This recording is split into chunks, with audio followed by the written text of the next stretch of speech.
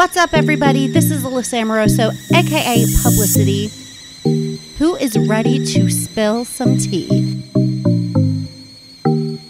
Because this is Tea with Publyssity.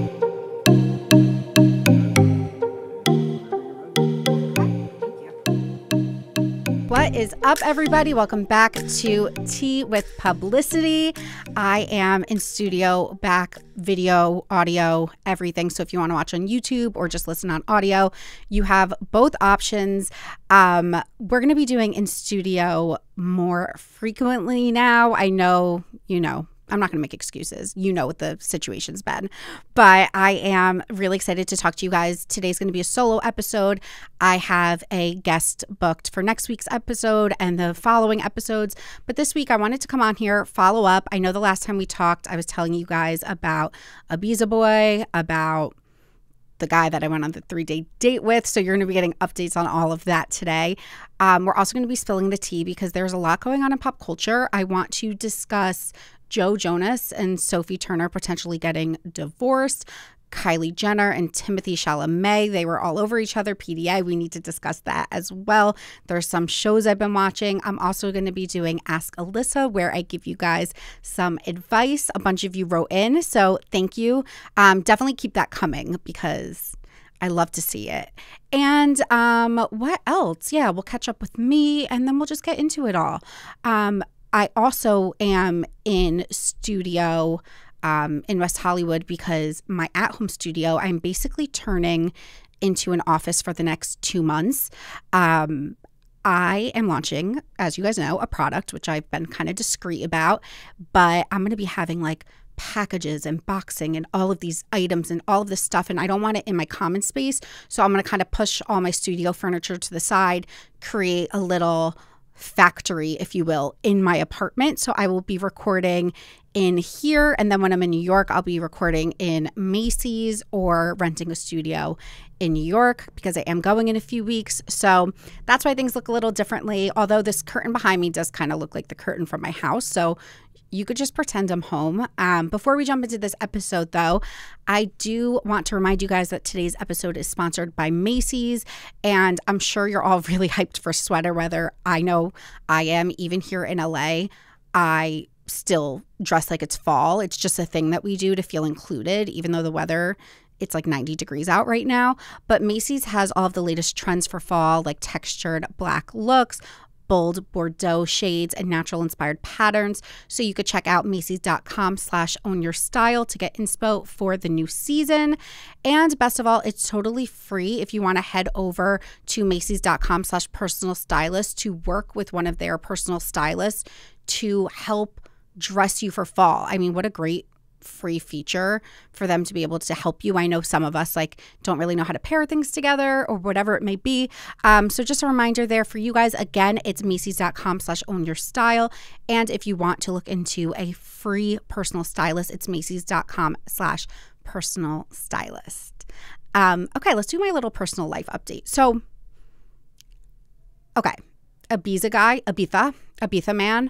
Um, where do I even begin? So he was like, you know, messaging me, messaging me, and I was trying to end things with him, and he was not really having it. And then the last we chatted, oh man, it's a lot. Oh, I blocked him on Instagram. this is savage. I blocked him on Instagram because my promo for my last episode was coming out where I talked about him having seven kids. And I was like, I don't want him to see this. Like, I feel rude. I'm going to block him keep in mind, like, he's not even a social media guy, but I'm like, he won't notice. He texted me and he's like, You took me off Instagram, babe. And I said, Just for a little. Sometimes I don't like people seeing the stuff I talk about. He said, I won't ever comment on there. Thought you were going to block me and everything. So glad I haven't, you haven't blocked my number. I'd be gutted, babe. Really would. So I'm like, oh my God. So I was like, oh, sorry. Ha ha ha. He's like, understand. I'm just glad you haven't blocked my number again. British. I'd be mega gutted if you stop talking to me, babe. Like I said, I really like you and I will definitely see you again someday. So uh, this is where I'm like, this is my chance. I was like, look, like I don't really realistically think that's going to happen. And he's like, it will, blah, blah, blah. And I was like, okay, just so you know, like I'm dating. Like, I don't think I'll see you again. And then he sent me a whole paragraph. And then he texted me the next morning being like, How are you? And I never answered. And now I've never heard from him again. So I think he got the hint. Part of me feels guilty because part of me feels like, Oh, he definitely used a friend's Instagram and saw that I talked about him. And then I feel bad because, like, he was a nice guy, but let's face it, a vacation like makeout stays a vacation makeout. Like that's what it was. You know, like you got to leave that in Spain. So that was over.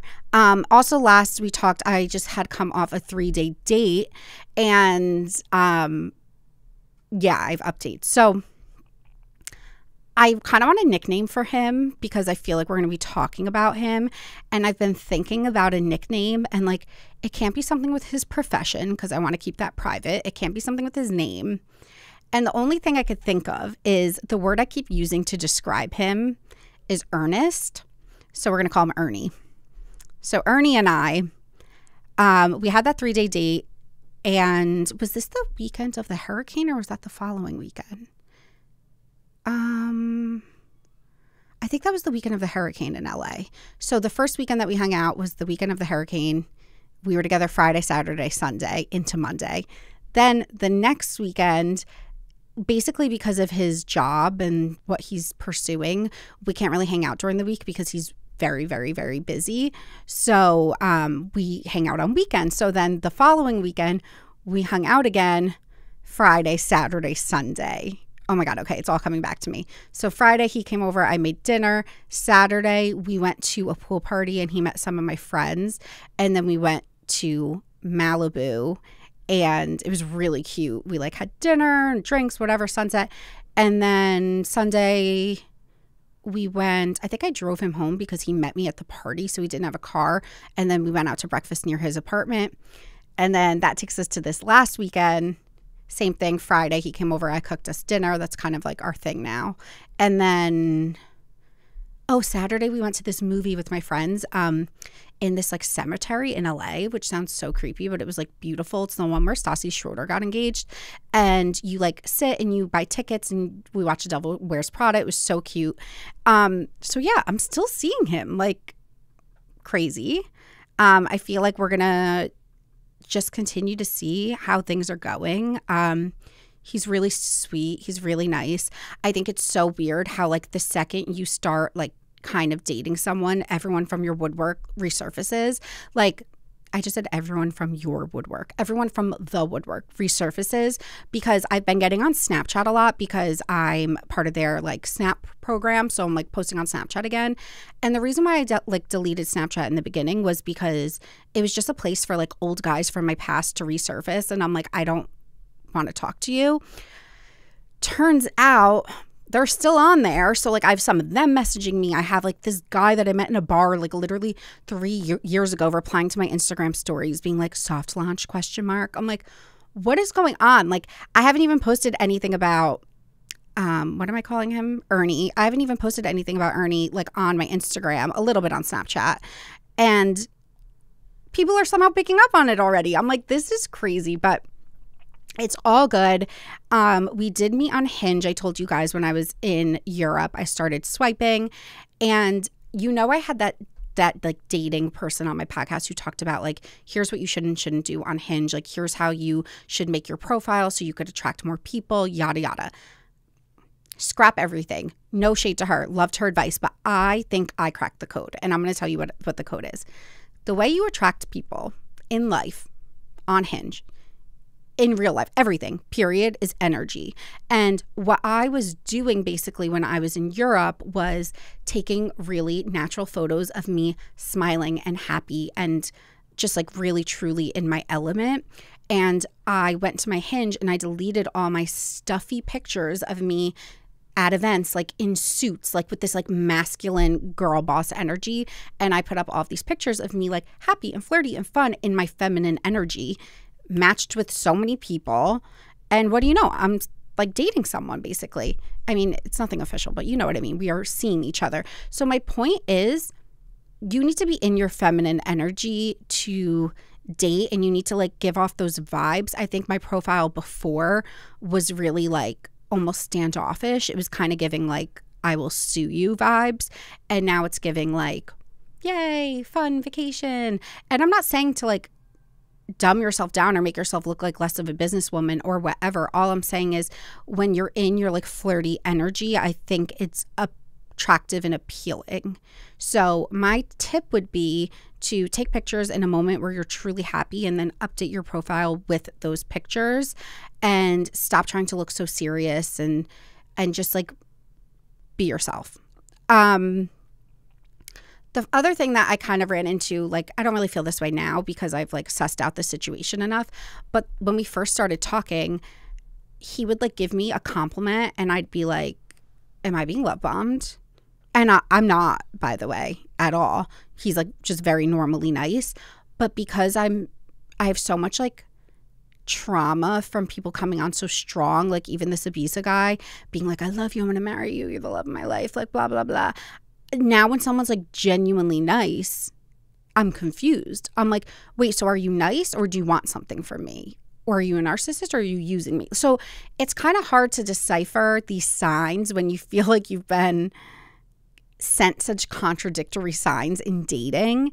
Um, but I think all in all, you just always have to go off your gut. And like that's always where I rest on just knowing in my gut i'm like this is fine. This is a nice person. I feel good about it in my gut. And like turns out i'm right. But it is confusing when we've all been just like fed this bullshit for so long. Um so i'm with you if you are also confused at reading signs. Um but i don't know. He's really sweet. He's very nice very caring. Um that's all i'm going to say because I don't know. Again, like I said, it's nothing official. We've been dating a few weeks, but I feel good about where things are going. So we shall see. Um, also, I'm a psycho in dating, I realized, because like I'm so upfront that I have a hard time. I'll talk to someone else and they'll be like, Yeah, I've been dating my boyfriend for a year and like I don't know where he's at. And I'll be like, What do you mean you don't know where he's at? Like, you didn't ask him? They're like, what do you mean? I, I can't bring that up. I'm like, oh, so I'm the odd one because I'm on the first date being like, so where do you see yourself? So do you like me? Do you like XYZ? Like, I am so forthcoming that I have a hard time understanding when people have been dating for like two years and still haven't talked about certain topics because I can't control myself. Like, I don't do surface level conversation. It's like everything is so like deep. And it's just because I like knowing about people and like like knowing what makes them tick and stuff. And i just realized though that i'm like a psycho because our second date i was like so does anyone in your life know about me? And he was like slow your roll which i thought was like funny because he put me in my place. He was like slow your roll like in due time. And i was like okay you're right. But i'm just a psycho. Like i just need to know these things. And i think over communicating is good. And i think like i'm at the point in my life where i'm not playing games. So I'm just going to be myself and hopefully someone likes me for me. Um, so that's another thing that I've kind of picked up on. But other than that, um, I have been just really, really, really, really busy launching this brand. I mean, you guys, I'm down to the wire. I gave myself like an expectation of like when I want to launch, and I am working. I mean, I'm working on a quick turnaround time right now. Like things are crazy. I hired an entire PR team. I hired a social media person. I have I have my apartment's overflowing. I hired a photographer, uh, booked a location to do the marketing shoot. I think the one thing about me and this brand is that I'm doing everything um, myself. I didn't outsource until the end for people to help me execute. But in terms of creating the product and creating the brand, every single thing has come from me. I came up with the concept, I came up with the entire marketing rollout plan. I came up with all of the messaging. So, everything you're reading on the packaging, everything you're reading on social media, I wrote it all. I wrote the website, the our story about the this, the that. Like I didn't hire copywriters for it. I did it literally all myself. Um, and even like the photo shoot, like, and the marketing, I did the mood boards and the creative, and I sketched out video talking points and photo talking points. I've started to do wardrobe, I've done hair, makeup. I've done everything. I've sourced, I have a 150 page document of everything I've done. And then now at the 11th hour, I've hired professionals to come in and execute because day of these things, I can't be doing it all. But what I love so much about this brand is that it's like literally all me, like all me. And um, it's exciting because I believe in it. I really believe in it and I really believe in what I'm doing. And I think it's so fun. I think it's never been done before. I think it's really cute. But it's like crazy because it's coming to life. I'm self funding it. I'm over budget by double. Like I'm just so out of control. At this point, I feel like it's like when people are planning a wedding and they're like, eh, at this point, we're so over budget. You might as well just keep tacking on more money. Like that's how I'm feeling at this point. Like I'm getting to the point where I'm like, I want this to be successful. I'm going to invest and I'm just going to do it. And I'm going big. And I'm just like up against such a tight timeline. So just pray for me that we get it all done. I know we will. I have faith, but that's basically what's happening right now. So keep your eyes peeled. I will be rolling out some stuff on social media. I'll start dropping some hints, and it's not going to be long. Like really not long. I'm talking under 2 months if all goes well. So, thank you guys for sticking through all of this with me. It's truly the biggest undertaking of anything I've ever done. Like, I've trademarked five things, I've gotten permits, I've done everything. Um, so, yeah, I feel really good about it. But um, let's get into Ask Alyssa. And then after Ask Alyssa, we will spill the tea. So, I had you guys write in and ask me some questions that you needed advice on. And here's my advice. I'm not a professional, but I'm going to do my best to give you guys some advice as someone that's been through some of these things. So this person said, Ask Alyssa, I'm a new aunt who lives on the East Coast and my new niece lives in the Midwest. How do you stay connected to your nephew? Would love any and all tips and tricks. Um, okay, I love this one because I'm obsessed with my nephew. He's my son.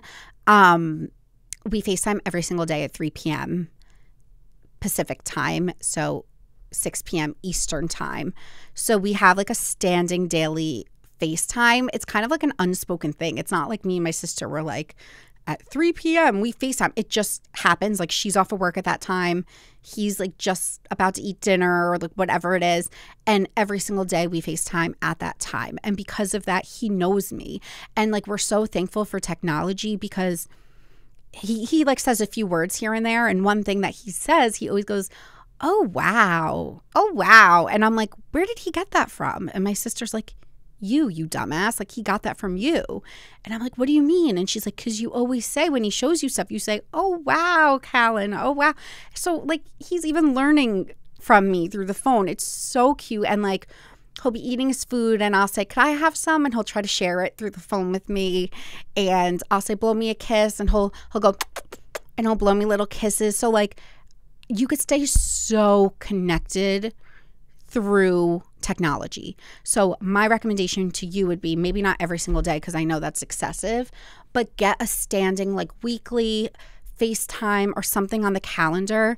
And I promise you, those kids, the kid, they will know you. And um, it's really, it's really special because even when I see him like in person, he knows me and it's so cute.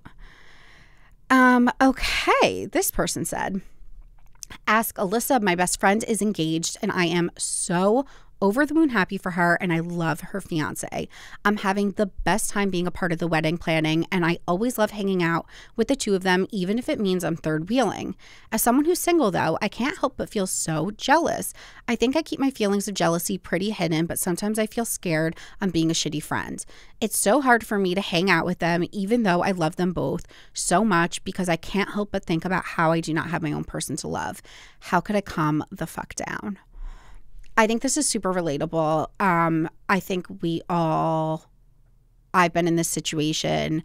Um, I think what you're describing isn't jealousy, it's envy. Like, you're not jealous because you're happy for them. You're envious because you want that too. And I think that that's okay. And I think, honestly, I'd just be vulnerable with your friends. Like, if this is your best friend, I think you should tell her. Be like, I am so happy for you guys. And like, I never want you to not tell me anything. Like, I'm obsessed with your relationship. I love being included, but I just can't wait until I can meet my own person so we could do these things together and we could double date. And I just like, I, you guys are such an example of what I want. And I think that's what I always try to do. Like, being single, just like looking at my friends that are in healthy relationships and looking at my sister, my parents, instead of being like, wow, they have what I don't, I look at it being like, wow, that's such an example of the kind of relationship that I want to mimic. Or sometimes if it's a bad relationship, you look at it being like, oh, that's what I don't want.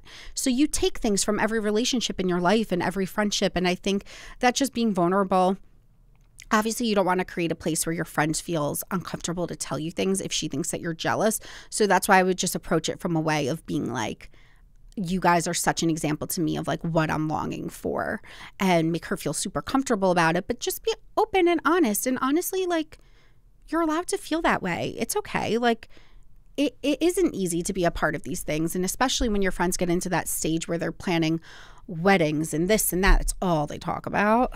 So I get it. I feel for you. I think a lot of people are in your shoes. And I hope that you could just be honest. And I think you guys will figure it out. You sound like a good friend. So this person said, Hey, Alyssa, I love your realness. Here's my question. I've been single for nine months after a shitty relationship where he was a yes man. You know, those that say yes to everything but don't mean it. So the relationship got three and a half years real. I'm 33, by the way.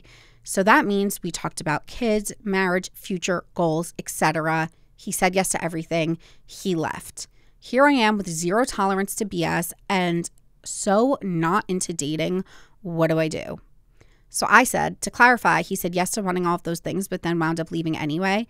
She said, Yes. He said yes to absolutely everything. Kids, yes. I had two procedures because I wasn't getting pregnant and I have endometriosis. He was on board. A home, yes. We searched to move out, but he never liked anything. A business, yes. I was scouting my second restaurant location. He was willing to become my business partner. So basically, this guy was yesing her to death, telling her he wanted all the same things as her, and then wound up leaving. I think there's two sides to this. There's like the woman scorned where I'm like, fuck him, he's a loser. And then there's the other part of me that's realistic that's like, okay, he left. That's not your person. And like, do you want to be with someone that's all talk and like all bark and no bite? So it goes two ways. First, I want to acknowledge your feelings. I think that I feel for you. That's so fucking shitty. I'm 32. I understand like the biological clock is ticking. We feel this immense amount of pressure. It is very scary. It's very real. I want to acknowledge that that is like really, I understand and I see you.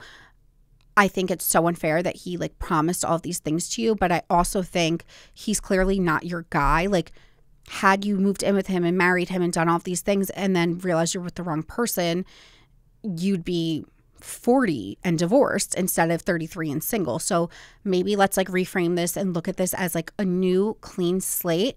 I'm a big actions person. I'm a talk is cheap person. Like I really really don't love talk. Like mean what you say and no, wait, what's the saying? Say what you mean and mean what you say. Like show up for me and maybe now that's something you could look for in future relationships like if someone out the gate is promising you the world but their actions aren't matching up to it it's like well there you go. Um so i think that i just think it i think everything like this is always a blessing in disguise. And maybe this happened um to save you from wasting more time with this person that's never going to give you what you truly want. And in terms of dating, I think that I know you're scared to go back out there and date. Give yourself time to heal, but then get back out there because, you know, it is what it is. Like, this isn't your person, and you'll find the person that is, and like everything happens in due time. And um, I'm just sorry that this did happen to you. I'm sorry that he dragged you along and is a yes person, but I think that you will be stronger for it. Like you're not going to fall for this bullshit anymore. So I hope that it makes you stronger and I hope that you learn from it. And um, it just means that that's not your guy. This person said, Ask Alyssa, I am struggling with motivation to up the ante for my business to make some real money. I know I'm capable of making money with my ideas. How could I execute my goals this year without overwhelming myself sorry, how could I execute my goals this year without overwhelming myself or shying away with the steps it'll take to get there? I think we're all I think we all fall victim to this of feeling like we're capable of really big things and then not always carrying out the plan. Um, I think I'm an idea person and I'm an execution person, but even I sometimes have ideas and don't follow through. I think I've said this before. I think there's a difference between like a doer and a dreamer. Like you could like dream of all these things but not be a doer and like they just never get done. Or you could be a doer and just do stuff, it fails, you keep on moving. You do stuff, it fails, you keep on moving. I think that there you need to find that like balance in between. It's kind of like manifesting. It's like manifesting only works if you see the idea, envision it, but then do the tangible steps to actually make it become a reality. So right now it's like you have these ideas and it's great and you're thinking up all these things, but like now you need to execute. So you need to just kind of go for it. I always believe in just like like jumping fully into something and learning as you go. Like right now I'm building a website. I don't know how to build a website. I'm building it and then I reach out to people and be like, help, what do I do? And I figure it out as I go. Or I want to launch a podcast, let's say. You buy the equipment. The first time you do the audio, maybe it's not great, but then the second time it's better. Like you just need to give yourself those, you need to just try and you learn as you go. You can't be a perfectionist. I think I see a lot of people that want to start businesses or new ideas say, I will do it when XYZ is lined up. I will create a website. I will create this. I will create a product. Then I will launch it. It's like, just start doing it. So, everything that I've ever been successful with in my life, I just did it. I bought the domain name right then and there on the spot. I contacted whoever I needed to contact. I think it's just like taking that plunge. And once you start doing your research and starting it, then the ball will continue to roll. Like even me coming out with this new product, I didn't know how to create a product from scratch. Like I literally had no idea. And it just over time, like you just keep researching, you watch YouTube videos, you you start one thing, you ask someone a question, they lead you to another. Then you ask those people a question, then it leads you to another. And then before you know it, you have a tangible thing. So, my advice to you is to just go for it and start it and learn as you go and know that mistakes are going to happen and it's going to take a lot of time and research and mental capacity, but you could do it. I hope that helps. Okay, last ask Alyssa and then we will spill the tea. This person said, Hey Alyssa, how do I break up with someone that's acting like a friend that has no idea that you know they've been talking awfully about you to mutual friends. I already did the breakup, but advice on how to move on. By the way, this was a bridesmaid of mine literally less than five months ago. Basically, talking shit to other bridesmaids and befriending my friends from totally other circles. So, this person's asking about a friendship breakup. They basically already did the friendship breakup, but now they're asking how to move on. Um, I've had probably like, I've had like I think I've had like three friendship breakups in my life. And I've had like three friendship breakups in my life, and none of them were easy. I'm not going to lie, because you almost have to mourn that person like a death. It's like, oh, this person that I relied on and I talked to all the time, like, is no longer there for me. And it's really hard. Um, I honestly, like, this isn't maybe the best advice, but I think time time heals all. If this person's befriending your other friends, I think that people's true colors always show. So if they're a bad person, your other friends might be duped for now, but they won't be for long. Just know that in a year's time, they're going to be running to you saying, "Oh my god, I should have listened to you. That person's such a bad friend, blah blah blah." I would just sit back, relax, let them self-destruct if that's what they may be doing and just know the reasons why you're no longer friends and you just have to let time happen because over time, you become less angry, they become less angry. You can maybe be mutuals or more cordial, or you just you don't hurt as much over time. It's like a breakup. So, really the only thing here to do is kind of just like wait and see. And again, I'm sorry that might not be the best advice, but that's what's helped me with those situations when I've been in them. Okay, guys, let's spill the tea. So, Kylie Jenner and Timothée Chalamet were spotted at Beyonce together in the VIP booth. Um, Kim was there, Khloe was there, Kris Jenner. We had Zendaya and Tom Holland. Like, hottie, hottie, hotties. First of all, I feel like I have to come correct on a few things.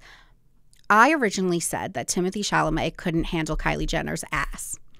I take back everything I ever said. Timothée could for sure handle that ass. I mean, did you see them, guys?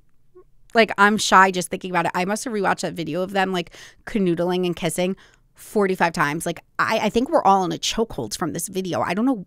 Something about it just like oozes sex appeal from both of them. Like, I never even was one of those girls that found him that attractive. And like, I am, I ship, I'm, I'm on, I'm on the boat. Like, I am, I am there. I am so into it. He's like, grabbing her butt and she's kissing him and they like have this flirty energy between them and they seem so happy like it uh, like literally I'm obsessed with them and I have been obsessed with them. I forgot to tell you guys I changed my mind. So when the news first broke, I was like, "Oh my god, she's too much woman for him, blah blah blah." I take back everything I said.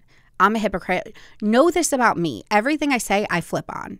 So just never, you know, like just know I'm going to come around. If we don't have the same opinion, we will eventually because I come around to everything. So, first of all, I'm obsessed with them. Second of all, I've been obsessed with them. I just haven't been posting about it, but like every few days I'm Googling like Timothée and Kylie, like, where are they now? And the reason I haven't posted anything, even on my Instagram stories, is because there hasn't been that much concrete evidence. Like, she had posted these pictures on Instagram at a lake, and then he posted pictures on Instagram at a lake. And it's like, are they or aren't they? Like, are they together at the lake or are they not together? I think they were together at the lake. Then she was in Europe and then he was in Europe. And it's like, are they together in Europe? We don't know. Like, there really hasn't been that much concrete evidence, but I've been following it closely. And then, like, her car's at his house. So it's like, we know they're together, but there wasn't any photographic evidence until last night. And now it's like, no, they're fully together. They're so hot together. Kylie looks beautiful. He, like, was doing it for me when he's never done it for me before. He was like smoking his cig I'm just, I'm so into it, guys. I think that they are adorable together. I hope they go to the Met Gala together. Like, I'm like, stamp my boarding pass because I am on that ship. Like, I, I love it. Another celebrity couple that we need to talk about is Joe Jonas and Sophie Turner. So when the news broke that these two were getting divorced, I was like honestly shook because I feel like the Jonas brothers, one thing about those Jonas bros is that they love their wives and like they're godly men and they stand by their women. They all got married kind of young. They all have kids. Like I just I look at them as like those are loyal men. Not that like to get divorced means you're not loyal, but in my head I'm like till death do us fucking part. Like they are in it for the long haul. So you assume their wives are that way as well. So then to hear that they may be getting divorced, I'm like no like something's not adding up here. Like this is weird. They're supposed to be together forever. Like we fully ship it. They just had another baby. Like these two are endgame. Like it's just not true. And whenever there's smoke, there's fire. So like I always kind of believe the rumors. But with this, I was like, no. I, I don't know why. I just had like a visceral reaction to not believing it. Then it turns out later that night, Joe Jonas is on stage at his concert performing, wearing his ring. Who's in the crowd? Sophie Turner. Okay sending a message to all of us like, we're still together. I don't know what it means. I don't know where the rumors came from that he was hiring divorce lawyers or this or that, because again, usually where there's smoke, there's fire. But I hope they work it out and I hope that they're happy and I want them to stay together forever. So I'm just so happy that she was seen there. And I hope that we could just put these rumors to bed and that they could just go on their merry way because I really like them together. Um, so I guess that rumor's kind of dispelled, but also maybe not. Like, I don't know. We will continue to see. Um, In terms of shows that I've been watching, I did just wrap up watching The Ultimatum on Netflix. I think The Ultimatum is such a good show. Like, I loved the queer love version. I love this new version. The one person we obviously need to speak about is Roxanne. Okay, because like you guys hear me the whole first half of this episode i'm talking about like i'm launching a business and i'm doing this and i'm doing that. But guess what else i'm doing? I'm still seeing my friends and i'm still dating and i'm still being a normal functioning human. And i don't know who told roxanne that to be a quote unquote girl boss you need to only work and do nothing else and belittle people around you for not wanting to work 30 hours a day. I know that's not a thing but you know what i mean 24 hours a day. Like I feel like she needs a wake up call because I just want to take her by the shoulders and shake her and be like, there's more to life. Like, I get it. I'm a, I'm a boss bitch too, but I'm like, I want balance in my life. Like, watching her was the most exhausting thing I've ever seen because it just felt so like, it felt like she was trying to shape Antonio into this person that he wasn't. And I wanted to reach through the, through the TV and grab Antonio and be like, she doesn't like who you are and she will only like you if you change. Therefore, you should leave her. And he was like willing to defend her to the death. And I'm like, bro, bro, get out. Get out. She only wants to be with like a rich guy who works all the time, which is fine. Listen, different strokes for different folks. Like, I'm a Capricorn, I'm a work girl, but like, time and place time and fucking place. Like, I think that you can't put your whole worth wrapped inside this job. Like, it's just not going to get you anywhere in life. So, not to be so hard on her, but like, I just really could not resonate with that storyline at all as someone who loves to work. I was like, bro, you got to chill. Um, Ryan, is it Ryan or is it Ryan? Like, I feel like her name is different. Ryan and her partner, oh my God, what was his name? I was DMing someone about him before. Um, let me find this DM. He called him James. Okay. Ryan and James. I'm happy. I'm happy they ended up together because I think they both wanted that. But I like to believe that had they made different choices in their lives, they would have never ended up together. Like, I feel like they come from that like old school, like marry your high school sweetheart. But like, had they moved out of their hometown, they would have lived completely different lives. James, like being a closeted freak, is just like shocking to me because I don't know. You picture like the first person you have sex with or you lose your virginity to, it's like vanilla, right? Because like they don't know what they're doing. You don't know what you're doing. Like you picture just like missionary, like one done wham bam thank you ma'am so i'm like these two are so fucking vanilla like you know there's no way that they're like doing anything crazy because they've only ever dated each other for seven years and they're high school sweethearts. They probably lost their virginity to each other.